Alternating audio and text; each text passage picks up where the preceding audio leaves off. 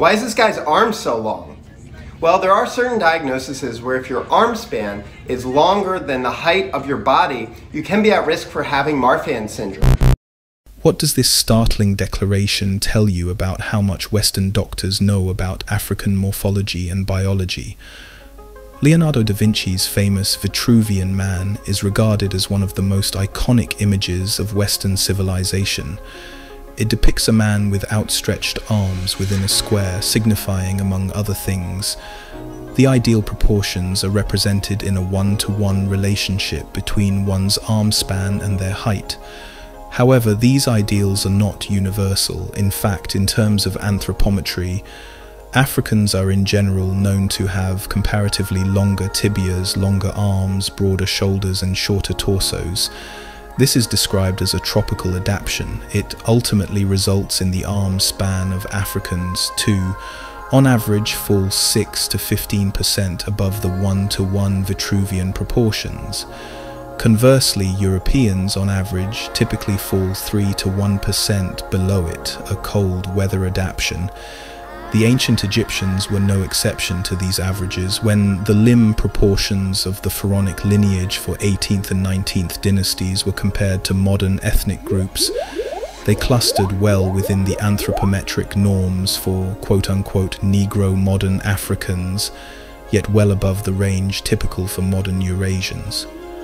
Another study that tested 150 noble Egyptians spanning from the Badarian and pre-dynastic through to the Middle Kingdom periods found that, on average, the ancient Egyptians possessed supernegroid limb proportions at the extreme nilotic end of the African spectrum, as shown in the typically short-torsoed, long-limbed portraits seen throughout Kemetic history, and reflected in virtually all the mummified remains of dynastic Egyptians.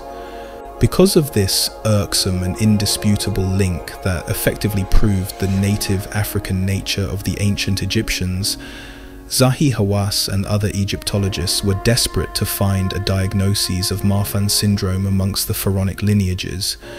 However, in a thorough 2010 autosomal DNA study, no such traits were found, obviously confirming that their African body plans were indeed a natural tropical occurrence. This complemented later STR profiling analysis of the same autosomal DNA results, clustering the same pharaonic line as on average 20 times closer match probability to black Africans than Eurasians. So, in short, whilst the ancient Egyptians would have fallen well outside of the Da Vincian ideal of perfection and the one-to-one -one ratio falsely promoted by Western medicine, they were perfectly in situ on the continent, not only is the insinuation of disability incorrect, it's insulting and insensitive to melanated Africans who see these proportions at a high frequency within their communities. It's scary to think in 2023 that a qualified MD would not be aware of this fundamental morphological difference between Africans and Europeans. Modern Europeans are not the model of the human form, if anything, being that all people descend from Africans, the African body should be regarded as the default and the Vitruvian proportions. To that end should be considered a recent European mutation,